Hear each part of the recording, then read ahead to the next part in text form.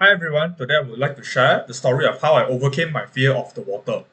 Back when I was a kid, like way back in primary school, I had this fear of drowning when water came into close proximity with my face.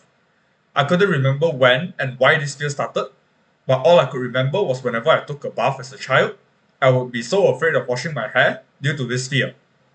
More often than not, I would have needed my parents or grandparents to help me as I couldn't do it myself.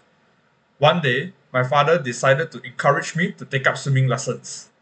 This was mainly to help with my fear and also as a way to be more active and healthier. I decided that it was time I got rid of that fear and agreed to take on those swimming classes. My father got recommended a swimming instructor by a friend and he enrolled me into his swimming classes. My swimming instructor was very patient. He was also very eager to help me with my fear and to also teach me how to swim. With his guidance, I soon got over my fear and even learned how to swim. Now, swimming has become one of my most favorite sports to participate in, and I would take up any chance to go for a swim. Thank you for watching.